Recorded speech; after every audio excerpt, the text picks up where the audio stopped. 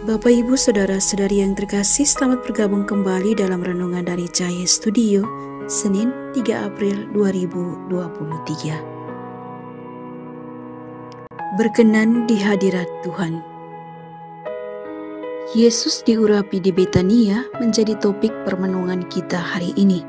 Hubungan kekerabatan antara Yesus dan tiga bersaudara Maria, Marta, dan Lazarus bukan hal baru, melainkan sudah lama berlangsung bahkan jauh sebelum Lazarus dibangkitkan dari antara orang mati.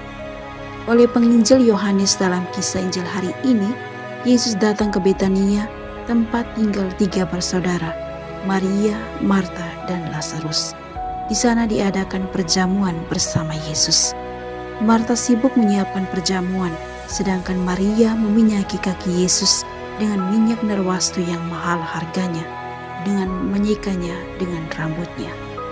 Peran yang dilakukan menunjukkan akan ketulusan hati dalam menyambut Yesus Sang Penyelamat dalam hidup mereka.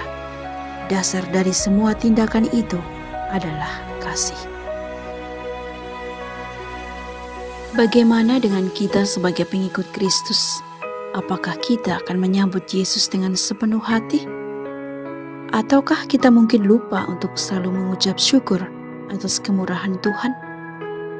Mari kita belajar membaharui diri teristimewa di masa yang berahmat ini, sehingga kita dapat melayani Tuhan dalam diri sesama, dan dengan itu kita semakin memperoleh hidup yang berkenan di hadirat Tuhan. Tuhan memberkati.